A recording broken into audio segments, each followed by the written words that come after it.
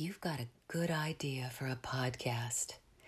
And that's all you need. Let someone else provide the tools for recording and editing, and that's Anchor. Let someone else quickly distribute your podcast to the best platforms throughout the world. That's Anchor. Never worry about a minimum listenership or any cost to you at all with Anchor. So download the free Anchor app today or go to anchor.fm to get started.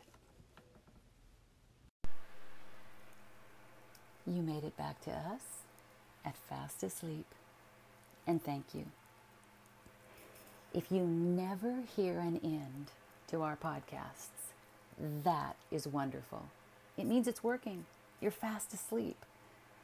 But just in case you continue on, or maybe you finish an episode in the daylight, please know we carefully choose masterpiece stories for you from the best authors. Today it's Jean Stafford, a Pulitzer Prize winner, of course, born in California. Her greatest medium was the short story, so let's tuck in and enjoy one. Here it is A Country Love Story.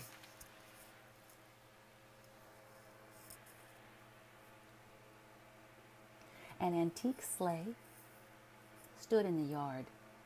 Snow after snow banked up against its eroded runners. Here and there upon the bleached and splintery seat were wisps of horsehair and scraps of the black leather that had once upholstered it. It bore, with its jovial curves, an air not so much of desuetude, disuse, as of slowed down dash, as if weary horses, unable to go another step, had at last stopped here. The sleigh had come with the house. The former owner, a gifted businesswoman, from Castine, who bought old houses and sold them again with all their pitfalls still intact, had said, as she was showing the place, a picturesque detail, I think, and waving it away, had turned to the well, which, with enthusiasm and at considerable length, had, she said, had never gone dry. Actually, May and Daniel had found the detail more distracting than picturesque. So nearly kin was it to outdoor arts and crafts. And when the woman, as they departed in her car, gestured toward, toward it again and said, Oh, paint that up with something cheery, and it will really add no end to your yard. Simultaneous shudders. Ooh coursed through them. They had planned to remove that sleigh before they did anything else. But partly because there were more important things to be done, and partly because they did not know where to put it, a sleigh could not, in the usual sense of the word, be thrown away, and partly because it seemed defiantly a part of the yard as entitled to be there permanently as the trees. They did nothing about it. Throughout the summer, they saw birds briefly pause on its rakish front and saw the fresh rains wash the runners. In the autumn, they watched the golden leaves fill the seat and nestle dryly down. And now, with the snow, they watched this new accumulation. The sleigh was visible from the windows of the big bright kitchen where they ate all their meals. And sometimes, too bemused with country solitude to talk, they gazed out at it, forgetting their food in speculating on its history. It could have been driven cavalierly by the scion of some sea captain's family, or it could have been used soberly to haul the household's Unitarians to church, or to take the women folk around the countryside on errands of goodwill. They did not speak of what its office might have been, and the fact of their silence was often nettlesome to May, for she felt they were silent too much of the time, a little morosely, she thought. If something as absurd and as provocative as this, at which we look together, and which is, even though we didn't want it, our own property, cannot bring us to talk, well, what can? But she did not disturb Daniel in his private musings. She held her tongue, and out of the corner of her eye she watched him, watched the winter cloak, the sleigh, and, as if she were commuting a different sum in her head, she tried to puzzle out what it was that had stilled tongues. That earlier, before Daniel's illness, had found the days too short to co- communicate all they were eager to say. It had been Daniel's doctor's idea, not theirs, that had brought them to the solemn hinterland to stay after all the summer gentry had departed in their beach wagons. The northern sun, the pristine air, the rural walks, and soundless nights, said Dr. Tellenbach, perhaps pining for his native Switzerland, would do more for the professor's convalescent lung than all the doctors and clinics in the world. Privately, he had added to May that after so long a season in the sanitarium, Daniel had been there a year, where everything was tuned to a low pitch. It would be difficult, and it might be shattering for the boy. Not now the professor, although Daniel, nearly fifty, with his wife's senior by twenty years, and Dr. Tellenbach's by ten, to go back at once to the excitements and the intrigues of the university to what, with finicking humor, the doctor called the omnium gatherum of the schoolmaster's life. The rigors of a country winter would be as nothing, he insisted, when compared to the strain of feuds and cocktail parties. All professors wanted to write books, didn't they? Surely Daniel, a historian with all the material in the world at his fingertips, must have something up his sleeve that could be the raison d'etre. For this year, anyway. May said she supposed he had. She was not sure. She could hear the reluctance in her voice as she escaped the doctor's eyes and gazed through his windows at the mountains behind the sanitarium. In the dragging months Daniel had been gone, she had taken solace in imagining the time when they would return to just that pandemonium the doctor so deplored. And because it had been pandemonium on the smallest and most discreet scale, she smiled through her disappointment at the little man's Swiss innocence and explained they had always lived quietly, seldom dining out or entertaining more than twice a week. Twice a week! He was appalled. But I'm afraid, she had protested, that he would find a second year of inactivity intolerable. He does intend to write a book, but he means to write it in England, and we can't go to England now. England! Dr. Tellenbach threw up his hands. Good air is my recommendation for your husband. Good air and little talk. she said. It's talk he needs, I should think, after all this time of communing only with himself, except when I came to visit. He looked at her with exaggerated patience, and then, courtly but authoritative, he said, I hope you will not think I importune when I tell you that I am very well acquainted with your husband, and as his physician, I order this retreat. He quite agrees. Stung to see that there was a greater degree of understanding between Daniel and Dr. Tellenbach than between Daniel and herself, May had objected further, citing an occasion when her husband had put his head in his hands and mourned. I hear talk of nothing but sputum cups and x rays. Aren't people interested in the state of the world anymore? But Dr. Tellenbach had been adamant. And at the end, when she had risen to go, he said,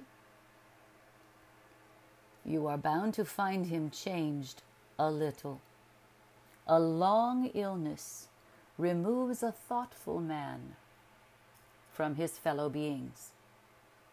It is like living with an exacting mistress who is not content with half a man's attention, but must claim it all.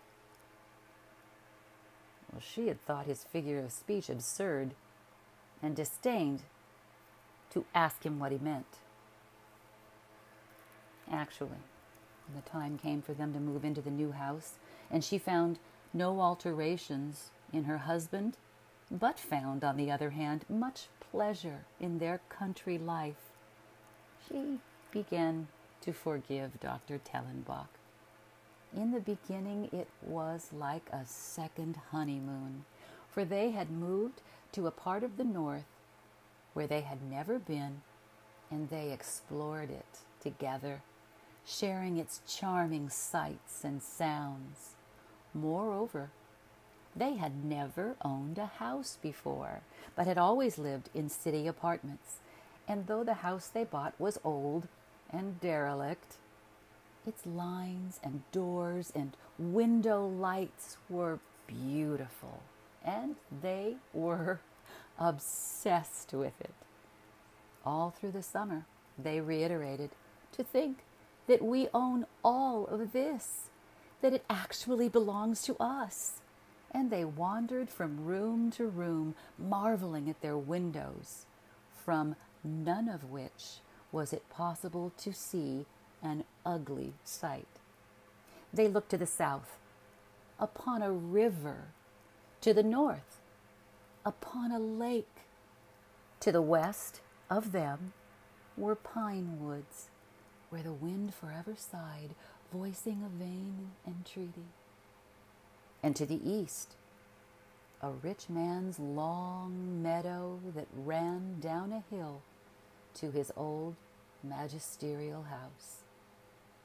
It was true, even in those bewitched days, that there were times on the lake when May was gathering water lilies as Daniel slowly rowed, that she had seen on his face a look of abstraction, and she had known that he was worlds away in his memories, perhaps of his illness and the sanitarium of which he would never speak, or in the thought of the book he was going to write as soon, he said, as the winter set in and there was nothing to do but work.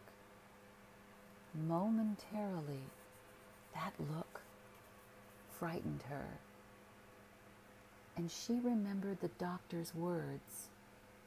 But then, immediately, herself again in the security of married love, she caught at another water lily and pulled its long stem. Companionably, they gardened, taking special pride in the Nicotiana flowering plant that sent its nighttime fragrance into their bedroom. Together and with fascination, they consulted carpenters, plasterers, and chimney sweeps.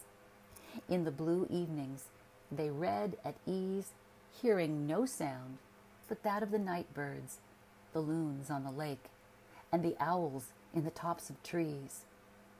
When the days began to cool and shorten, a cricket came to bless their house, nightly singing behind the kitchen stove. They got two fat and idle tabby cats who lay insensible beside the fireplace and only stirred themselves to purr perfunctorily. Because they had not moved in until July, and by that time the workmen of the region were already engaged, most of the major repairs of the house were to be postponed until the spring. And in October, when May and Daniel had done all they could by themselves, and Daniel had begun his own work, May suddenly found herself without occupation. Whole days might pass when she did nothing more than cook three meals and walk a little in the autumn mist, and pet the cats, and wait for Daniel to come down from his upstairs study to talk to her. She began to think with longing of the crowded days in Boston before Daniel was sick, and even in the year past when he had been away and she had gone to concerts and recitals and had done good deeds for crippled children and had endlessly shopped for presents to lighten the tedium of her husband's unwilling exile. And longing, she was remorseful, as if by desiring another, she betrayed this life, and remorseful, she hid away in sleep. Sometimes she slept for hours in the daytime, imitating the cats.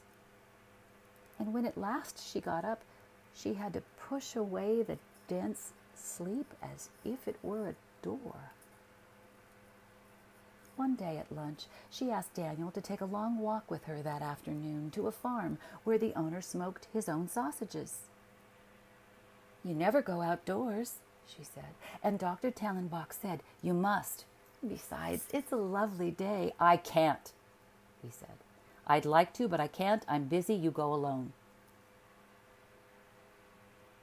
Overtaken by a gust of loneliness, she cried, Oh, Daniel, I have nothing to do. A moment's silence fell, and then he said, I'm sorry to put you through this, my dear, but you must surely admit it is not my fault I got sick. In her shame, her rapid, overdone apologies, her insistence that nothing mattered in the world except his health and peace of mind, she made everything worse. And at last he said shortly to her, Stop being a child, May. Let's just leave each other alone. This outbreak, the very first in their marriage of five years, was the beginning of a series. Hardly a day passed that they did not bicker over something. They might dispute a question of fact argue a matter of taste, catch each other out in an inaccuracy. And every quarrel ended with Daniel's saying to her, Why don't you leave me alone? Once he said, I've been sick, and now I'm busy and I'm no longer young enough to shift the focus of my mind each time it suits your whim. Afterward, there were always apologies, and then Daniel went back to his study and did not open the door of it again until the next meal. Finally, it seemed to her that love, the very center of their being, was choked off, overgrown, invisible, and silent with hostility or voluble with trivial reproach. They tried to dig it out impulsively and could not could only maul it in its unkempt grave. Daniel, in his withdrawal from her and from the house, was preoccupied with his research, of which he never spoke except to say that it would bore her, and most of the time, so it appeared to May, he did not worry over what was happening to them she felt the cold, old house somehow now enveloping her as if it were their common enemy, maliciously bent on bringing them to disaster. Sunken in faithlessness, they stared at meal times atrophied within the present hour at the irrelevant and whimsical sleigh that stood abandoned in the mammoth winter. The sleigh. May found herself thinking if we redeemed it and painted it, our house would have something in common with Henry Ford's Wayside Inn. And I might make this very observation to him, and he might greet it with disdain. And we might once again communicate. Perhaps we could talk of Williamsburg and how we disapproved of it. Her mind went toiling on. Williamsburg was part of our honeymoon trip. Somewhere our feet were entangled in suckers as we stood kissing under a willow tree. Soon she found that she did not care for this line of thought, nor did she care what his response to it might be. In her imagined conversations with Daniel, she never spoke of the sleigh. To the thin, ill scholar whose scholarship and illness had usurped her place, she had gradually taken a weighty but unviolent dislike. The discovery of this, not surprising her, on Christmas Day. It came on Christmas Day. The knowledge sank like a plummet, and at the same time she was thinking about the sleigh, connecting it with the smell of the barn on damp days, and she thought perhaps it had been drawn by the very animals who had been stabled there and had pervaded the timbers with their odor. There must have been much life within this house once, but long ago. The earth immediately behind the barn was said by everyone to be extremely rich because of the horses, although there had been none there for over 50 years. Thinking of this soil, which earlier she had eagerly sifted through her fingers. May now realized that she had no wish for the spring to come, no wish to plant a garden. And branching out at random, she found she had no wish to see the sea again, or children, or favorite pictures or even her own face on a happy day. For a minute or two, she was almost enraptured in this state of no desire. But then, purged swiftly of her cynicism, she knew it to be false, knew that actually she did have a desire. The desire for a desire. And now she felt that she was stationary in a whirlpool. And at the very moment she conceived the notion, a bit of wind brought to the seat of the sleigh the final leaf from the elm tree that stood beside it. It crossed her mind that she might consider the wood of the sleigh in its juxtaposition to the living tree and to the horses who, although they were long since dead, reminded her of their passionate, sweating, running life every time she went to the barn for firewood. They sat this morning in the kitchen, full of sun, and speaking not to him, but to the sleigh, to icicles, the dark, motionless pine woods, she said, I wonder if on a day like this they used to take the pastor home after lunch. Daniel gazed abstractedly at the bright silver drifts beside the well and said nothing. Presently, a wagon went past, hauled by two oxen with bells on their yoke. This was the hour they always passed, taking to an unknown destination an aged man in a fur hat and an aged woman in a shawl. May and Daniel listened. And then, suddenly, with impromptu anger, Daniel said, What did you just say? Nothing, she said. And then, after a pause, it would be lovely at Jamaica Pond today. He wheeled on her and pounded the table with his fist. I did not ask for this. The color rose feverishly to his thin cheeks, and his breath was agitated. You are trying to make me sick again. It was wonderful, wasn't it, for you while I was gone?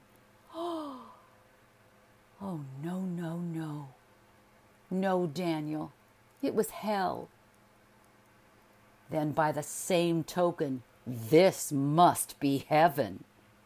He smiled, the professor catching out a student in a fallacy. Heaven, she said the word bitterly. Then why do you stay here? he cried. It was a cheap impasse. Desolate, true, unfair. She did not answer him. After a while, he said, I almost believe there's something you haven't told me. She began to cry at once, blubbering across the table at him. You have said that before. What am I to say? What have I done? He looked at her, impervious to her tears, without mercy, and yet without contempt. I don't know, but you've done something. It was as if she were looking through someone else's scrambled closets and bureau drawers for an object that had not been named to her, but nowhere could she find her gross offense.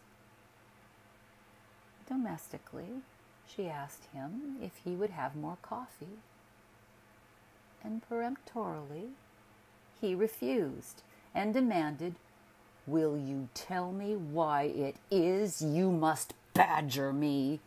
Is it a compulsion? Can't you control it? Are you going mad? From that day onward, May felt a certain stirring of life within her solitude, and now and again, looking up from a book to see if the damper on the stove was right, to listen to a rat renovating its house within a house, to watch the belled oxen pass. She nursed her wound, hugged it, repeated his awful words exactly as he had said them reproduced the way his wasted lips had looked and his bright, far sighted eyes. She could not read for long at any time, nor could she sew. She cared little now for planning changes in her house. She had meant to sand the painted floors to uncover the wood of the wide boards, and she had imagined how the long paneled windows of the drawing room would look when yellow velvet curtains hung there in the spring. Now, schooled by silence and indifference, she was immune to disrepair and to the damage done by the wind and snow, and she looked as Daniel did, without dislike upon the old and nasty wallpaper and upon the shabby kitchen floor. One day she knew that the sleigh would stay where it was so long as they stayed there. From every thought, she returned to her deep, bleeding injury. He had asked her if she were going mad. She repaid him in the dark afternoons while he was closeted away in his study, hardly making a sound, save when he added wood to his fire or paced a little deep in thought. She sat at the kitchen table looking at the sleigh, and she gave Daniel insult for his injury by imagining a lover.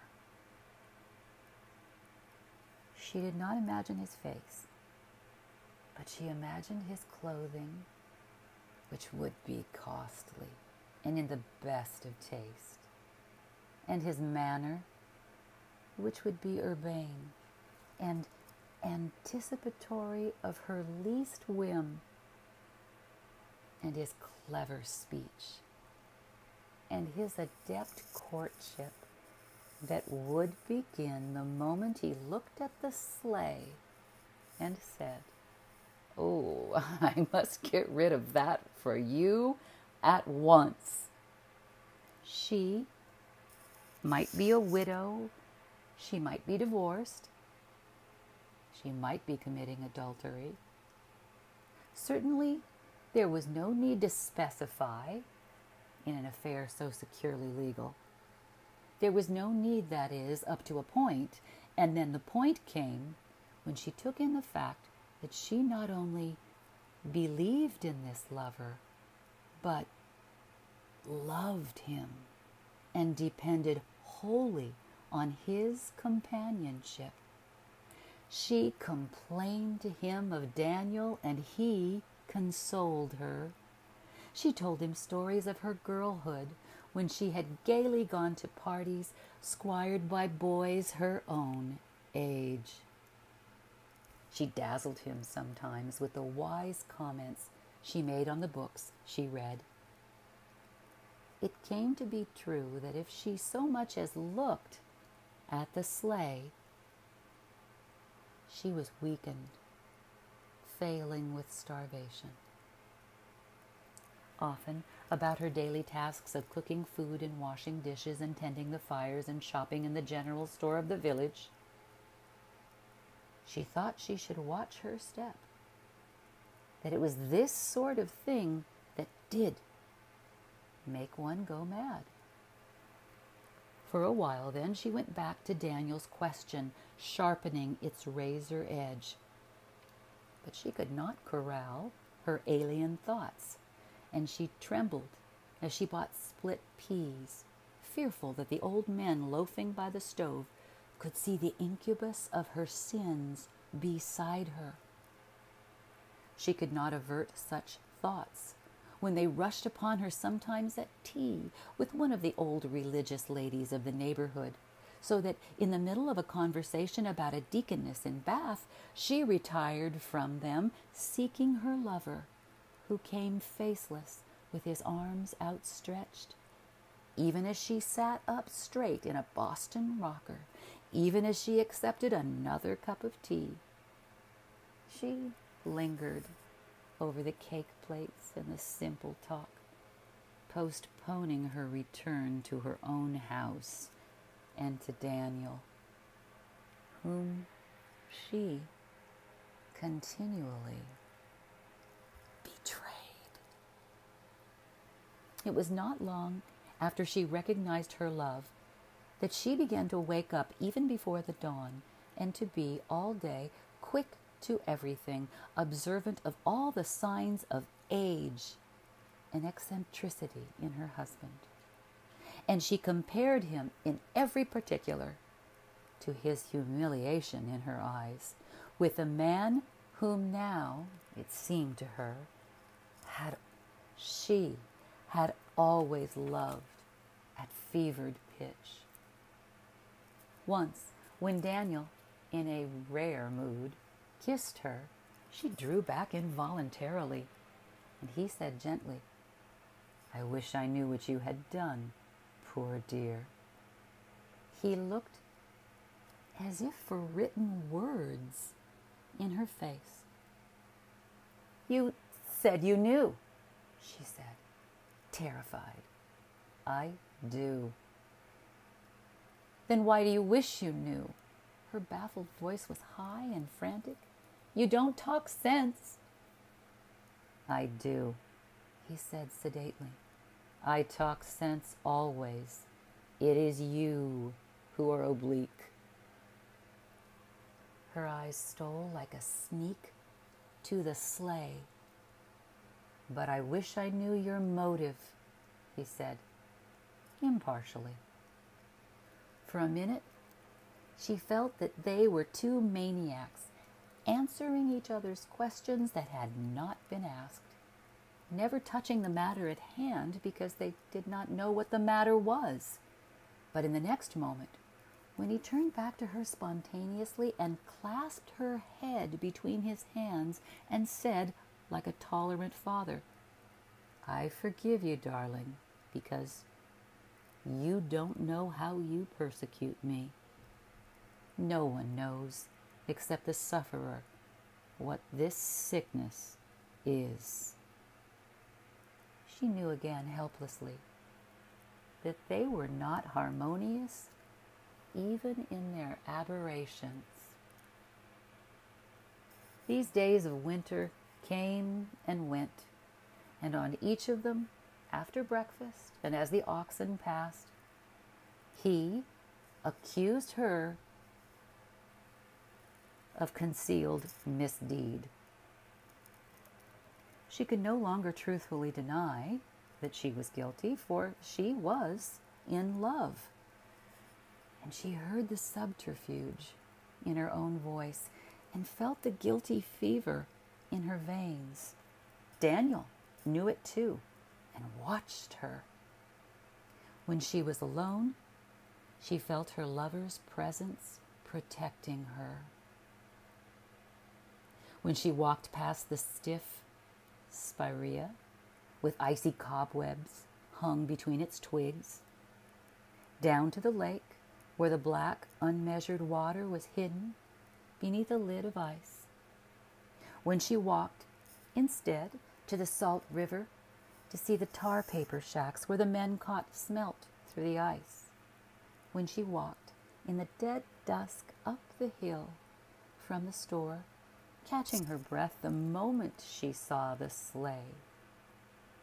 But sometimes this splendid being mocked her when, freezing with fear of the consequences of her sin, she ran up the stairs to Daniel's room and burrowed her head in his shoulder and cried, Come downstairs. I'm lonely. Please come down.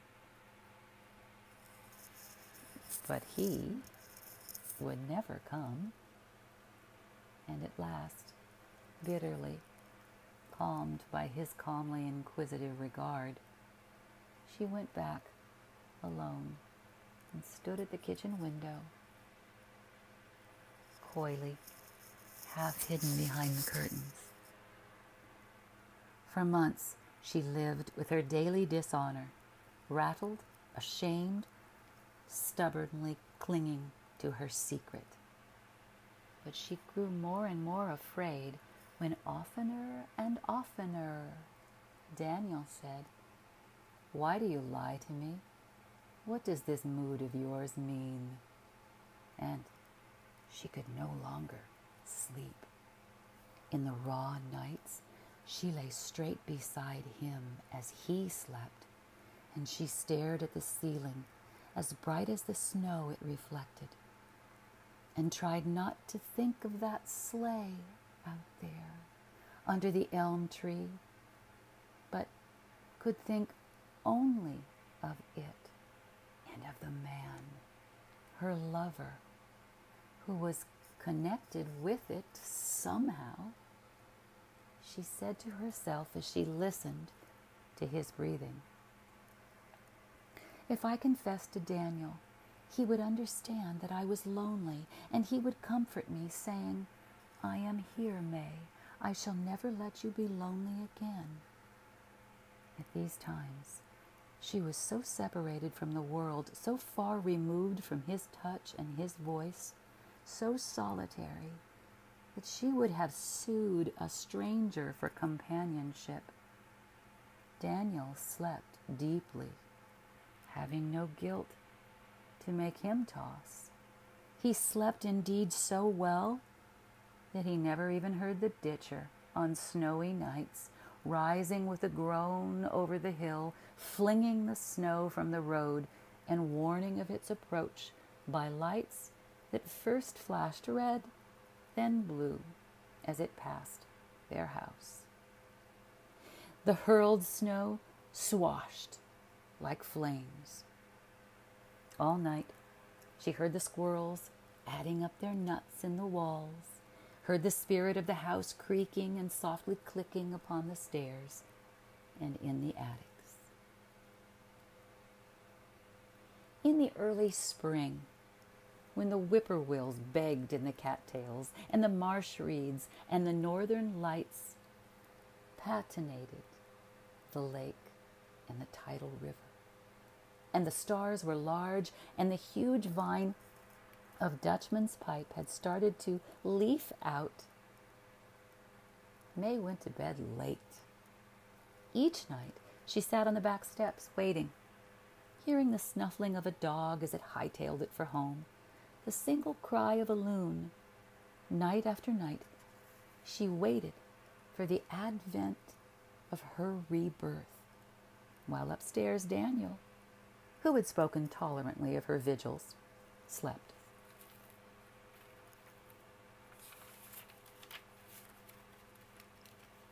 Keeping his knowledge of her to himself.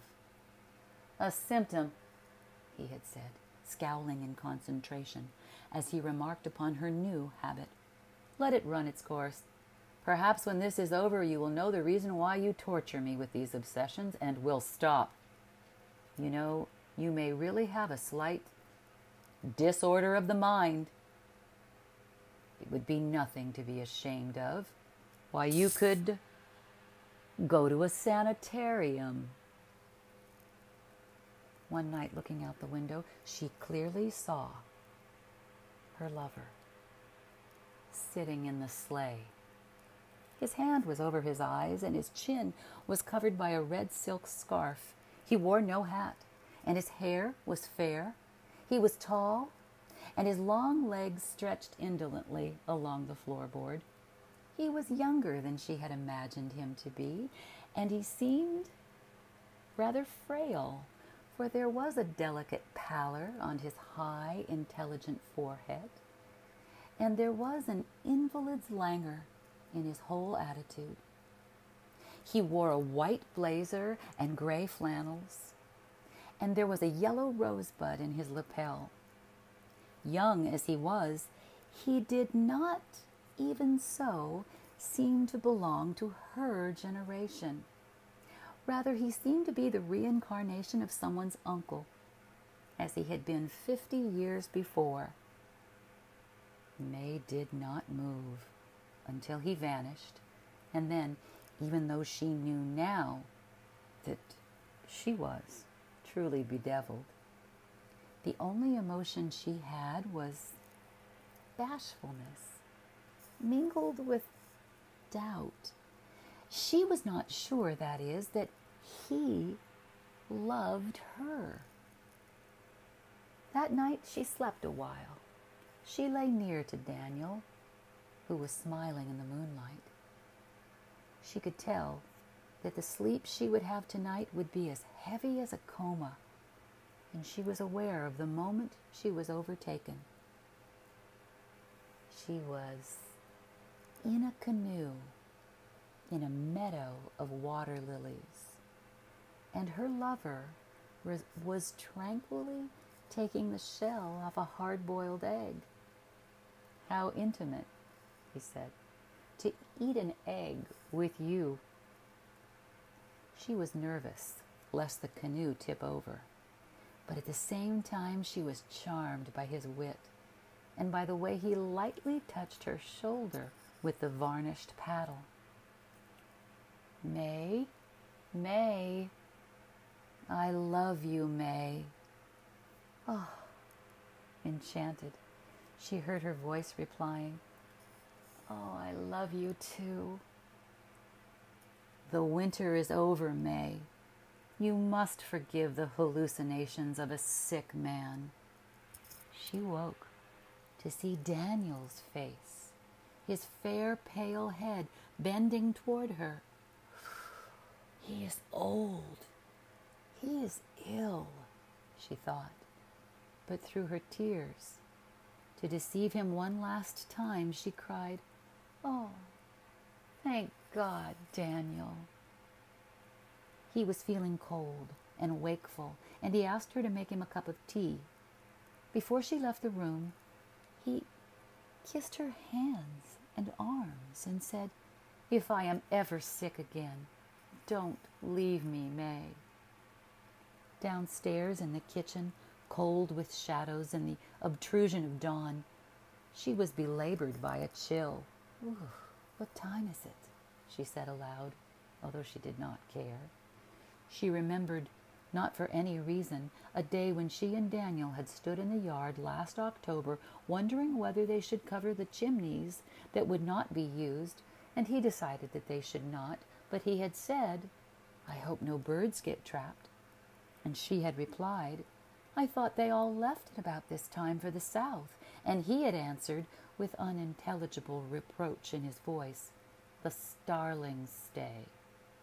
And then she remembered, again, for no reason, a day when, in pride and excitement, she had burst into the house crying, I saw an ermine. It was terribly poised, and it let me watch it quite a while. He had said categorically, There are no ermines here. She had not protested. She had sighed as she sighed now and turned to the window. The sleigh was livid in this light, and no one was in it, nor had anyone been in it for many years. But at that moment, the blacksmith's cat came guardedly across the dewy field and climbed into it, as if by careful plan, and curled up on the seat. May prodded the clinkers in the stove and started to the barn for kindling, but she thought of the cold and the damp and the smell of the horses, and she did not go, but stood there, holding the poker and leaning upon it as if it were an umbrella. There was no place warm to go. What time is it? she whimpered, heartbroken, and moved the poker stroking the lion foot of the fireless stove. She knew now that no change would come and that she would never see her lover again. Confounded utterly, like an orphan in solitary confinement, she went outdoors and got into the sleigh. The blacksmith's imperturbable cat stretched and rearranged his position, and May sat beside him with her hands locked tightly in her lap, rapidly wondering over and over again how she would live the rest of her life.